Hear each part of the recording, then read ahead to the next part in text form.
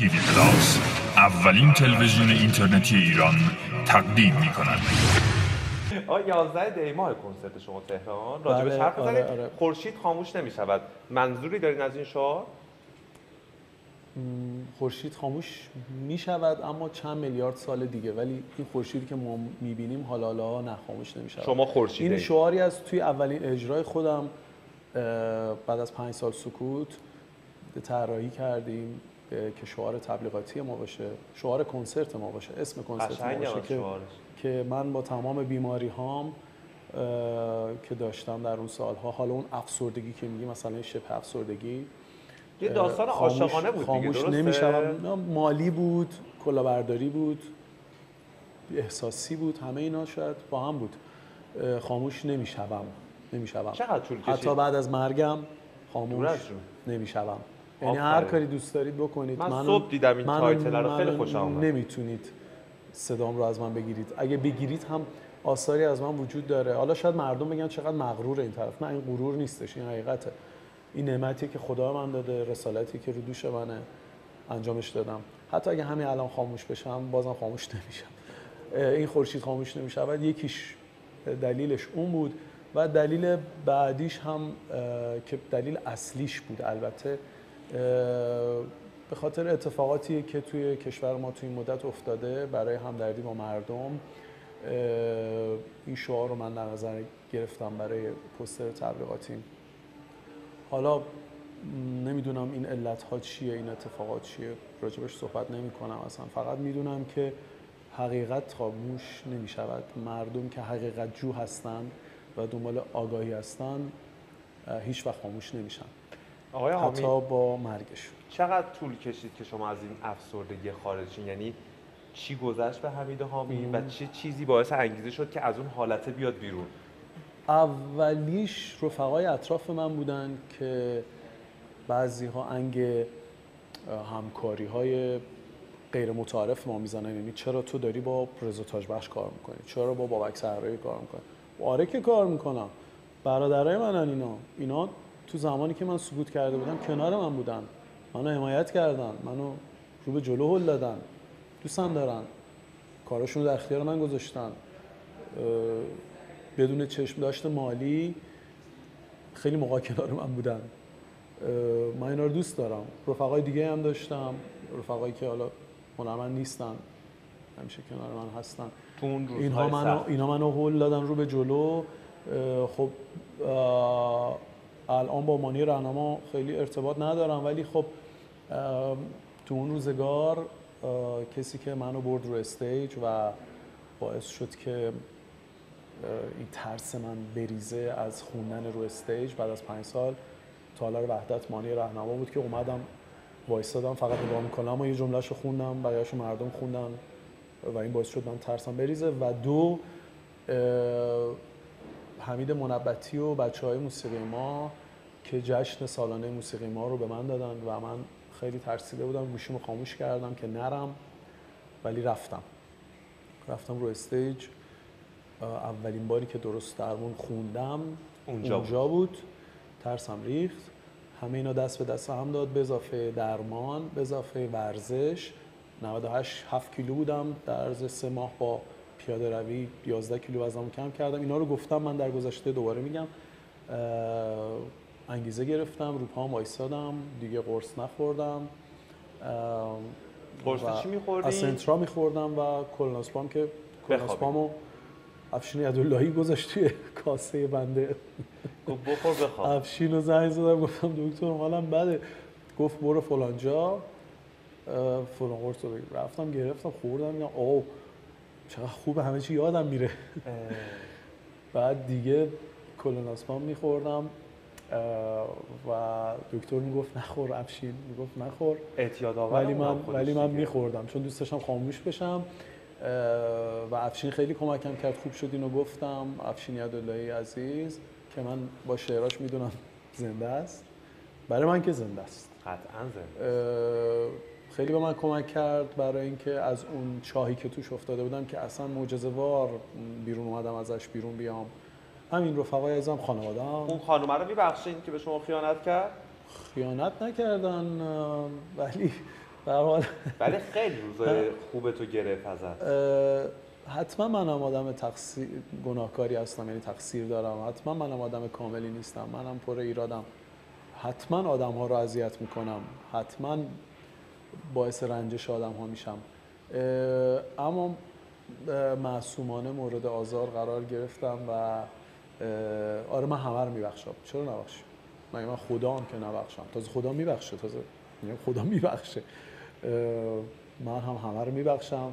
برای همه آدم ها چه اونهایی که الان حتی دارن منو اذیت می‌کنن. و باشون چلنج دارم مشکل دارم. چه اونایی که در گذشته بودن. دختر حتما نیست تو زندگی. بله، نه، نه. من همکارامو میگم. کسایی که داستان دارم باشون همه رو میبخشم. همکارای موزیکم رو. اه، مثلا با بهنام رهنما چند وقت پیش چلنجی داشتم. تو استودیو دیدمش. تموم شد. بهش گفتم بی ادب. بغلش کردم و یازدهم دوباره با من رو استیج میاد. بهنام ایشالله. یاد بگیریم ایرانی ها همدیگه رو ببخشیم. عمر ما خیلی کوتاه و زندگی ارزش خیلی زیادی نداره. با یک تلنگر خاموش میشیم و معلوم نیست اون بر چه اتفاقی میافته. راسته که میگن تو نوشیدنی شما یه چیزی ریخته بودن که صداتون رو از بین ببرن؟ اینو شنیدم. دکتری که منو درمان می‌کرد شوهر خاله آقای تاجبخش که تو انگلستان تخصص دارن و باز یه پزشک غیر ایرانی تو انگ- انگلستان به من گفتن که نورمال نیست. ولی بعدا تحقیقات بیشتر کردیم فهمیدیم که اسپاسم عضلانیه که ریشه عصبی داره. آه یعنی این موضوع منتفی شاید بوده ولی منتفی شده. من هنوز دارم می‌خونم. خدا رو شکر خدا رو شکر. شما هم ماشاءالله قد و هیکل خوبی دارین هم فیس خوبی دارین معروفین. و فکر کنم خیلی هم به شما پیشنهاد بشه واسه بازیگری. آه راستی آره. در سالهای گذشته پر پرواز تورج منصوری و آقای چراغلی سربازهای جمعه آقای کیمیایی مثلا. حالا پیشنهادها شاید خیلی جدی نبوده ولی خب به هر حال پیشنهاد بوده نشده. ولی دوست داشتین؟ نه هیچ وقت دوست نداشتم. حالا تو فیلم آقای کیمیایی چرا؟ یه فریم هم آدم بشینه حضور داشته باشه. از اون این شما اعتبار نه؟ اصلا نه. من که بازیگر نیستم. شاید بتونم بازی کنم. ولی اینکه یه فریم هم تو فیلم آدمی مثل استاد کیمیایی حضور داشته باشه یک نفر براش اعتباره. چند وقت پیش هم یه فیلمی پیشنهاد شد کارگردانشون. کارگردان داشاکل جدید بود. اسمشون یادم رفته آقای عرب. پیشنهاد شد مذاکره کردیم. بعد سناریو رو خوندم. با اینکه بندگان خدا دستمزدی شبیه به دستمزد بازیگرای درجه یک سینما به من پیشنهاد دادن برای نقش یک. اما تو فیلم جدیدشون ترسیدم از اینکه اعتبار موزیکم زیر سوال بره. چون شخصیت من اینه و اگر مثلا برم نقش یک آدم دیگر رو بازی کنم توی فیلمی شاید خیلی خوشایند طرفدارام نباشه. با اینکه تو این فیلم نقش خواننده رو بازی می‌کردم یعنی قرار بازی کنم. و خیلی از خودم خارج نمی شدم اما باز اه، ترجیحم این بود که روی اون مبلغ خیلی بزرگ پا بذارم و روی بیشتر دیده شدن تو فضای مجازی و وارد سینما شدن و تبلیغات آنچنانی و فروش کنسرت و ریلیز شدن بهتر آهنگام و رو همه اینا پا بذارم و بازی نکنم یعنی اون ترسه باعث شد که شما ترس؟ نیستش مدیریته آها چون الان مثلا فرزاد فرزین داره بازی می‌کنه و خیلی تاثیر گذاشته رو کنسرتاش روی مثلا ترک هایی که منتشر می‌کنه. همه که مثل هم فکر نمی‌کنن. همه محترم تفکراتشون هر کی دوست داره یه روشی داره برای کار کردنش. روش همه شبیه هم نیست. حالا نمی‌دونم اون روش هوشمندانه است یا روش من هوشمندانه است. اما من برای خودم قدرت تصمیم گیری دارم به اراده خودم این کار رو نمی کنم شاید اون روش باعث پیشرفت بیشتر میشه. و این روش باعث ماندگاری بیشتر میشه. خواننده قدیمیمون هم اگه توجه کرده باشید تو خیلی از فیلم ها بازی می‌کردن. ما باشون خاطره داریم. باعث شد بیشتر دیده بشن. شاید یه نقشی که خیلی کوتاه بود توی فیلمی. مثلا آقای ابی توی فیلم آقای داریوش تو فیلمایی که بازی کردن. بله. باعث شد که مشهورتر بشن مردم بیشتر بشنونشون. اما خب اون کیفیت هم داشتن دیگه. تو موزیک همیشه کیفیتشون حفظ می‌شد. و نقشی هم که تو فیلم بازی می‌کردن نقش خوبی بود. یعنی به اعتبارشون و محبوبیتشون ضربه. نمی‌زد بله اضافه می‌کرد. یعنی الان به فرزاد ضربه خورده با نقش من اصلا نمی‌دونم. این نقش ندیدم؟ نه نه متاسفانه. اصلا. نه ندیدم. دی- یه بار یه تبلیغی البته دیدم تو پشت تاکسی نشسته بودن ولی نه ندیدم اون سریالو. اسمش نمی‌دونم چی اصلا سریال. مانکن. آه نه نه تبلیغاتشو دیدم. آره. ولی یه قسمتش هم دیدم آره آره. یه سمند داشتن. آره. نقره‌ای. آره دیگه همون سریال دیگه. پشت سمند بودن و آره. آره. که نقشه پسر لاتو بازی آه می‌کنه بله که بله. دیدم دیدم. یه قسمتش دوست نداشتین شما. برای خودم من نمی‌تونم شاید اصلا اون نقش رو بازی کنم و دوست نداشتم نه. شاید یه روزی بشه بگم شاید منم می‌خوام کار بکنم. ولی الان آره، در حال حاضر من؟ نکردم. الان شما می‌خواین کنسرت بزنید تو شیراز مشکلی پیش اومده من شنیدم آره؟ من یه نامه به شما میدم. حالا در ادامه بخونید. در ترتیب که. یادت باشه ما پارسال با همین قراری گذاشتیم. بله. علت این قرار همین بود که به مردم بگیم آقا چه اتفاقی افتاد تو شیراز. تصویرایی که خیلی هم رو LED. آره، خیلی هم تنها مصاحبه من بود راجع به اون ماجرا. چون که با توافقی که با مسئولین ارشاد کردیم و به من لطف داشتن حراست تهران ارشاد تهران آقای ترابی و آقای دکتر حسینی قرار گذاشتیم که مصاحبه نکنم چون که نمی‌دونستم چه اتفاقی افتاده. بله. گفتیم صبر می‌کنیم تا ببینیم که چه اتفاقی افتاده. مقصر مشخص بشه. مقصر مشخص نشد اما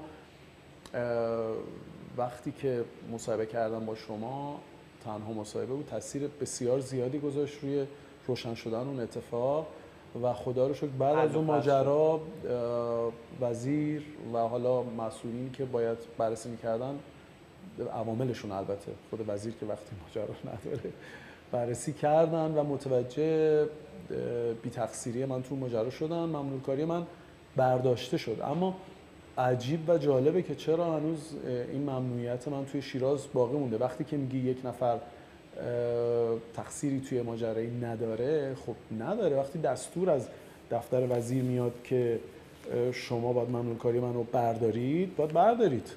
این که من هنوز بعد از گذشت یک سال کنسرت عاشقانه های چشم آذر رو نمی‌تونم توی شیراز به همراه آر- آرمین قیتاسی و ارکستر ایشون و مهدی یغمایی برم اجرا بکنم 12 و 13 دی. ماه. اه، این خیلی اتفاق عجیبیه. من دوست دارم که اگر کسی می‌تونه توضیح بده راجع موضوع. می‌دونم توضیح داده نخواهد شد. ولی دوست دارم بدونم چرا. من ممنوع فعالیت نشدم تعلیق بودم بیگناهیم ثابت شد. دو ماه بیشتر طول نکشید. از اسفند بود تا اردیبهشت ولی الان همچنان توی شیراز ممنوع کارم. من دوست دارم که اه، همینجور شما این نامه رو بخونید بله. جناب آقای دکتر احمدی مشاور محترم وزیر و مدیر کل حوزه وزارتی. با سلام و احترام عطف به نامه شماره فلان مورخ 21 12 97 در. خصوص درخواست آقای حامی مبنی بر رفع اتهام از ایشان در مسائل پیش آمده حین برگزاری کنسرت موسیقی مورخ 28 11 97 در شیراز ضمن ارسال نامه شماره فلان. مورخ 7 1 98 مدیر کل محترم دفتر موسیقی به آگاهی میرساند. با عنایت به شخصیت فرهنگی و پیشینه مثبت نام برده و آثار وزیری که در چارچوب موسیقی پاپ ارائه کردن از نظر دفتر موسیقی معاونت هنری محدودیتی برای فعالیت ایشون وجود ندارد. بدیهی است تذکر لازم بابت نظارت کامل بر اعضای گروه داده شده است. آقای سید محمد مجتبی حسینی معاون امور هنری. بله دکتر حسین. به حال. شبیه شبکه خبر خوندم. بر ترتیب یکی از موضوعاتی که دوست داشتم امروز ما هم صحبت کنیم که چرا دیگه. چرا بنده هنوز ممنوع فعالیتم امیدوارم که حل میشه تا روز کنسرت؟ فکر نمی کنم. حالا این زمان زیادی باقی نمونده اما امیدوارم اقدامات لازم انجام بشود که موضوع حل بشه. ایشالا با امید خدا. با موضعی که تلویزیون علیه سلبریتی ها گرفته موافقی؟ من سلبریتی نیستم عزیزم. من اختیار من. نیستم قربان. من نمی‌خوام باشم چرا؟ بده. من فرق؟ من نه. من نمی‌دونم اون معنی اون کلمه چیه. می‌دونم می‌دونم می‌دونم معنیش چیه. اونی که تو ایران هست معنیش نمی‌دونم چیه. و هدف از این که دارن هنرمندها رو می‌زنن نمی‌دونم چیه. شاید خیلی تقصیرها رو می‌خوان بندازن گردن هنرمندها می‌خوان ذهن مردم از اتفاقات منحرف بشه. به هر ترتیب من نیستم اون کلمه. چون با اون در واقع سری دیالوگا بر داره من واقعاً نیستم. من واقعاً- برنامه های تلویزیونی من واقعاً نیستم. هنرمندا. ببین اولا که مالیات از ما گرفته میشه. کی گفته مالیات گرفته نمیشه؟ بعد اونهایی باید انگشت اتهام به سمت اونهایی باشه که لابی می‌کنن. خونهشون خونه قصبیه که دولت قبلی بهشون داده توی زعفرانیه. اونها باید مورد اتهام قرار بگیرن. شما به کسایی شبیه به من که خونه از خودم ندارم من مستاجر هستم با افتخار و درآمد آنچنانی ندارم حق اتهام به بنده رو نداره کسی. اون خواننده است خونه غصبی داره؟ بله. تو زعفرانی. بله بله بله. من چهار تا گزینه میگم دولت نه نه نه. شوخی. من جز اونا نیستم. من یک زندگی من؟ زندگی ساده دارم و سالم. و سالم دارم. بدون هیچ connection و پشتوانه سیاسی و حکومتی نه تنها حمایت نمیشم بلکه سنگم جلو پای بنده. سرکوبم میشی. بایکوت هم میشم. حالا این بایکوت نمیگم حکومتی گفتم اول مصاحبه. بله. این بایکوت ممکنه ممکنه نه شخصیه. ولی حمایت نمیشم. هزار بارم به مسئولین گفتم آقا چرا من باید انقدر اذیت بشم؟ نه کار سیاسی مخالف کردم نه اذیت و آزاری برای کسی دارم. من هنرمندم می‌خوام کار بکنم. من حمایت نمی کنید اوکی. اذیت هم نکنید ولی باز اون اتفاقات میفته ولی من سر جام هستم و تا جایی که جون دارم و مریض نشدم و نمردم از- کار می‌کنم. خیلی هم عالی. و اینکه الان یک سری از هنرمندا تلویزیون رو تحریم کردن چی موافقشونی؟ من شما راستش رو تلویزیون بخوای می‌دونی من خبر ندارم اصلا از این موضوع. باور ببین. داستانش که تو چند تا از برنامه های تلویزیونی راجع به این معافیت مالیاتی اینا که صحبت شد واسه هنرمندا یه سری دیالوگا یه سری از مجریا گفتن که خیلی به هنرمندا برخورد. مثلا اینکه آقا مثلا شما نیم لوبریسی هم نیستین و نمی‌دونم سلبریتی چی و شما آدمای فیکین و این حرفا یه سری هدف این ماجرا چی بوده؟ یه بازیه. یه بازی نوشته شده است حالا هدفش چی بوده نمی‌دونم. اما راجع مالیات ما الان تو کنسرتامون کنسرت جدیدمون تهیه کنندش منم خودم. دارم برگزار می‌کنم. ممکنه ضرر بدم ولی برگزارش می‌کنم. تهرانه. بله. حالا راجع به اینکه درآمدزایی برای کجا هستی قسمتی از درآمدمو به کجا میدم نوشتم که صحبت کنیم. ده درصد دارم مالیات میدم. این مالیات اسمش دیگه. بله دیگه. و اگه ضرر بکنم هم باز 10 درصد مالیات میدم. قیمت سالن‌های کنسرت خیلی بالاست. محمد معتمدی اعتراضی داشت همیشه می‌گفت آقا این 100 تا مثلا 50 تا بیلبوردی که می‌زنید پولش از کجا میاد؟ واقعا از کجا میاد؟ چطور میشه من به شخص الان دارم کنسرت می‌ذارم هزینه ها رو دارم می‌بینم نوشته شده چه. خبره. چطور می‌تونم من دو تا دونه بیلبورد بزنم؟ اسپانسر باشه میاد مثلا 10 تا بیلبورد برام می‌زنه. ولی 50 تا بیلبورد؟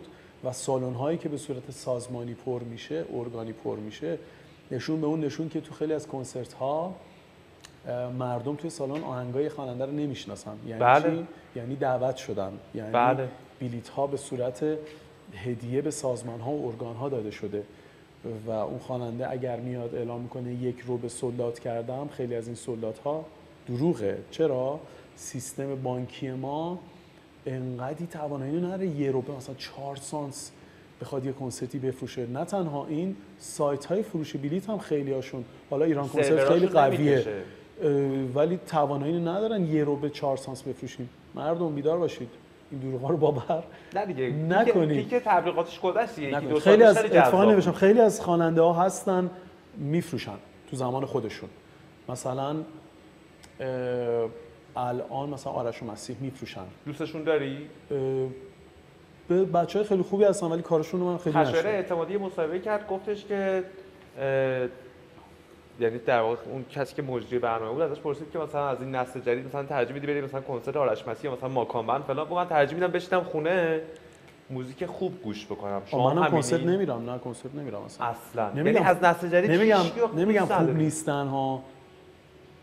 استایلشون سبکشون با من فرق داره. حداقل اونی که یه ذره خوبه رو بگین یه ذره انرژی انگیزه بگیره. خب توضیح میدم راجع بهتون. ببین استایلشون فرق داره چون مردم ما سلیقه‌شون موزیک اکتیو بله.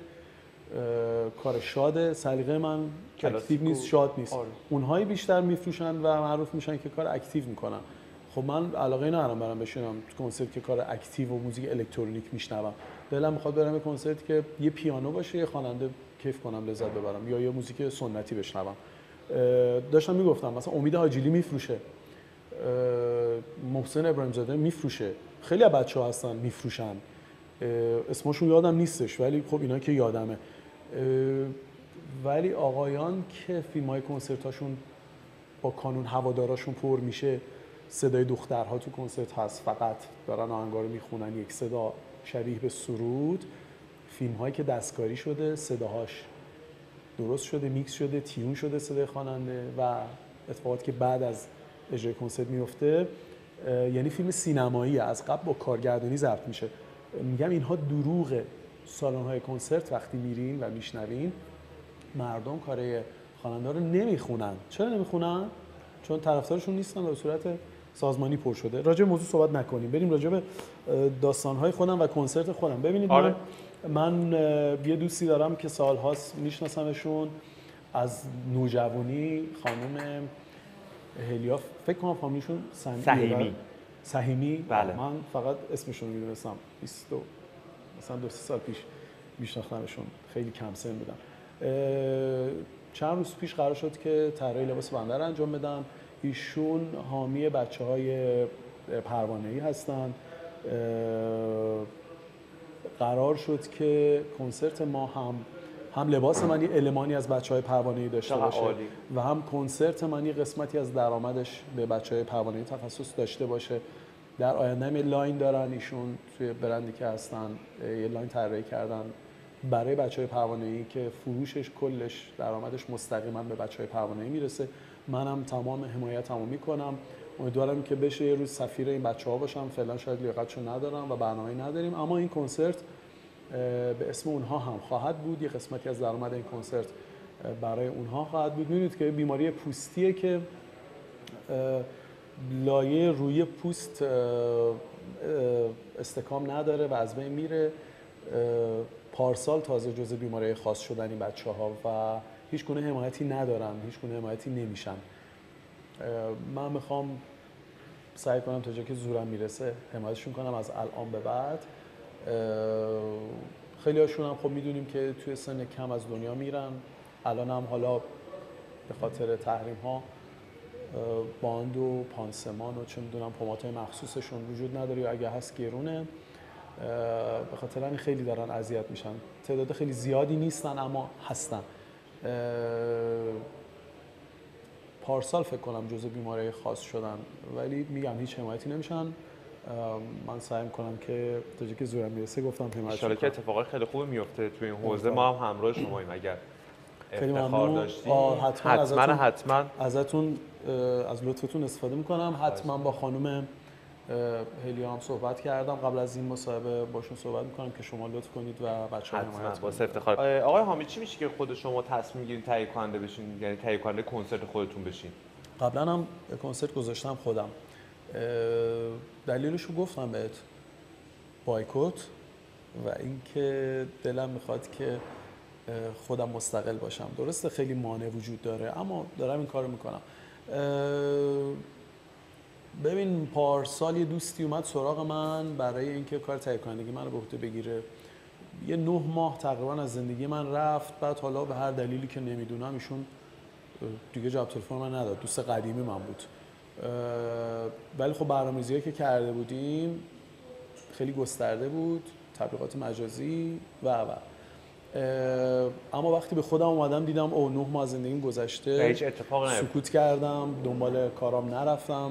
به امید اینکه یک نفر هست منو داره حمایت می‌کنه. حالا اینکه نیستش تو زندگی این اتفاق زیاد میفته از ترک شدن توسط خیلی از آدم ها نباید بترسیم. باید با استقلال با قدرت ادامه بدیم. یه ضرب مسئله همه جای دنیاییه که میگه زندگی ادامه داره.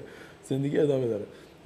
این کنسرت رو خودم شروع کردم به انجام کاراش. آقای حسین توتونچیان که واقعا ازش ممنونم. ممنونم ممنونم. خیلی لطف کردن به من. وقتی ازشون خواستم که منو کمک می‌کنید برای برگزاری کنسرت گفت تو برو هر کاری داشتی من کنارت هستم. خیلی به من کمک کردن. در کنار یاشار درفشه که ایشون هم خیلی به همراه آقای توتونچیان من کمک کردن.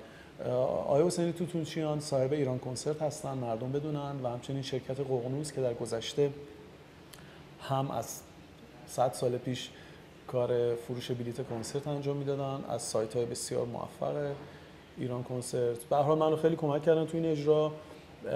امیدوارم بتونم محبتاشون رو جبران می‌کنم و اجرای خوبی باشه اجرای 11 دقیقه ماه. ان من امیدوارم که مردم حمایت بکنن با توجه به که خود حمید حامی تهیه کننده کنسرتشه. حمایت کنن که بتونه این هنرمند با توجه به اتفاقایی که واسش میفته و حال بایکوتایی که واسش به وجود میارن بتونه استقلالش رو داشته باشه راهش رو ادامه بده و به قول خودش خورشید خاموش نمیشه. آقای توتونچیان هم جزو تهیه کننده سالمه. بله. موزیکران و کارشون خیلی درسته.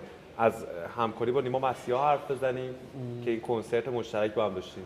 نیما رو که خب راجبش صحبت کردیم اما خلاصه وار میگم همیشه دوست داشتم باش همکاری بکنم. این جرقه تو ذهن من زد حالا حتما تو ذهن نیما بوده من ولی خب اول پیشنهاد من توی منزل نیما وقتی رفتم برای دیدن فرزندش که به دنیا آمده بود بهش دادم. اون روز یه کار با آقای تاج بخش خوندیم از آقای عارف منتشر شد. دیدم که مورد استقبال قرار گرفت. ترغیب شدم این ماجرا. وقتی نیما رو دعوت کردم به کنسرت تهرانم جلوی نیما یادت باشه زانو زدم و گفتم که بی‌نظیرترین صدای ایران و حقیقت آرزوی اینکه رو استیج باش برم همیشه داشتم. قبلا رفته بودیم با هم وزارت کشوری اجرا داشتیم ما سالها پیش. بله. این دلم گرفت و پروانگی رو هم با هم خونده بودیم تو اون سالها. ولی خیلی سال گذشته بود و دوست داشتم دوباره این اتفاق بیفته. این اتفاق خیلی بزرگ افتاد. در ابتدا ما فکر نمی‌کردیم آره چهار سانس بفروشیم. البته باز گنجایش فروش داشتیم ولی من ممانعت کردم مقاومت کردم در مقابل ماجرا. دوست داشتم که کم باشیم اما خوب باشیم. چهار سانس رو با تهیه کننده و آقای تاج بخش و آقای مسیحا من مخالفت کردم که بیشترش بکنیم. همون چهار سانس موند. اتفاق فوق العاده جالبی بود. برای ما که خواننده های فرم یا سبک پاپ و پاپ سنگین و پاپ کلاسیک هستیم در کشوری که مردمش غالبا علاقه به ریتم دارن اتفاق فوق العاده جالب و عجیبی بود. امیدوارم که در آینده این اتفاق باز هم بیفته. کنار نیما بودن برای من یک افتخاره. برای من امتیازه. و قلبا نیما رو مثل برادرم دوست دارم. حتما اختلاف نظرهایی بین آدم ها وجود داره. مثل من و بابک صحرایی مثل من و یغمای گلرویی مثل من و رضای تاج بخش ولی این اختلاف نظرها من اجازه نمیدم که تا که زورم برسه باعث جدایی و دوری بشه. شاید توی زمان کوتاه بگم مثلا نیما از اصلا ناراحتم یا رضا. ولی سعی می‌کنم این ارتباط ها حفظ بشه. چرا که ارتش کم شمار ما که فکر می‌کنیم هر روز تعدادش داره کم میشه.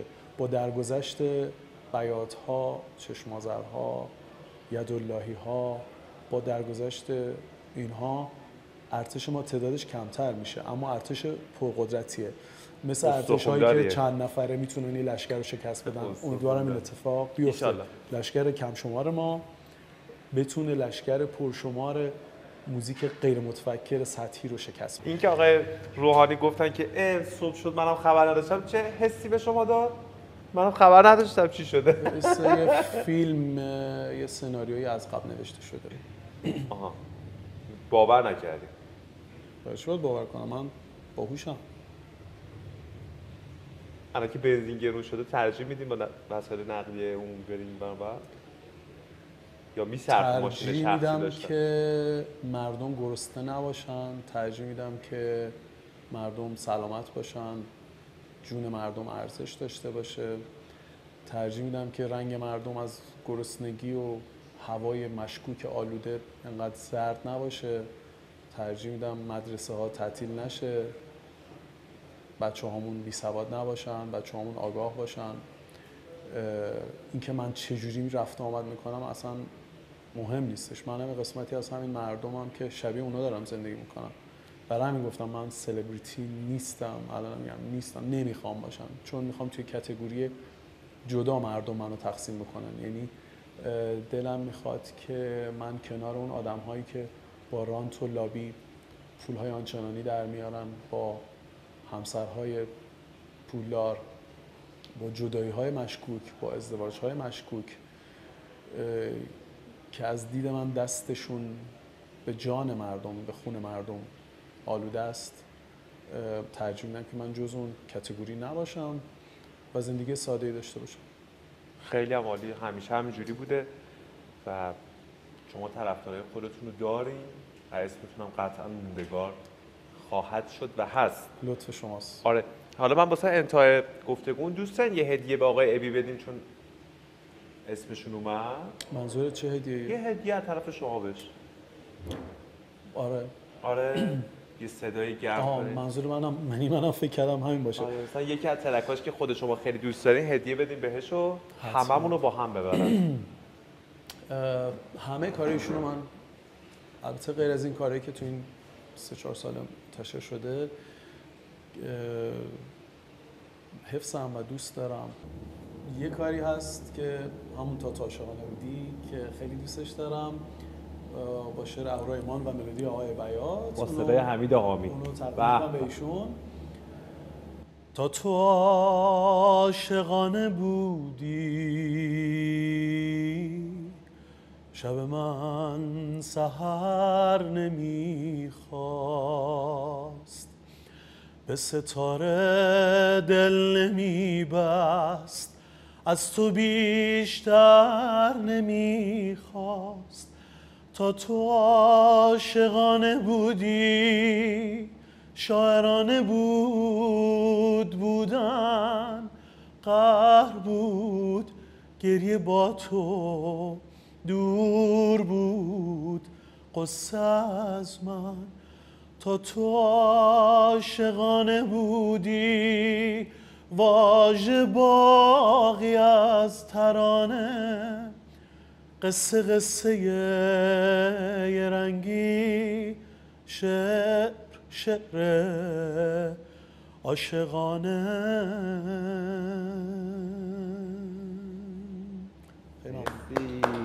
خیلی ممنون. ممنون از شما. قربونت برم. مرسی که افتخار دادی. و از مدیریت رستوران ویکولو که به من لطف داشتن با هم چند روز پیش آشنا شدیم قرار شد که همکاری بیشتری با هم داشته باشیم. آره مصاحبه جالبی بود با شما همینجون از همیشه بچه های ما شما لذت. از تیوی پلاس که همیشه. صادقانه من. افتخار اگر. دوست ندارم چیزی از من پخش بشود شما صادقانه حذفش کردید بله. ازتون خیلی ممنون قربونتون خیلی خان. شما لطف کردی خواهش مرسی